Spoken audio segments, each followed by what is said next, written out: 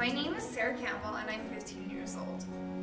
I want to be Miss Proper Etiquette because I think that people need a role model and I would be very good at that. To me, proper etiquette in everyday life is just being kind to others and really fulfilling your responsibilities. To me, proper etiquette in extraordinary situations is that of maybe a mother um, to a child who will sacrifice anything for those children that so that they can succeed in whatever they do. My hobbies are baking, dancing, and reading.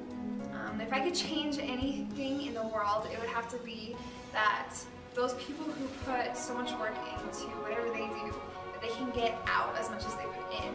You should want me to win because, like I said, I would be a good role model. Again, my name is Sarah Campbell, and thank you for considering me for Miss Proper.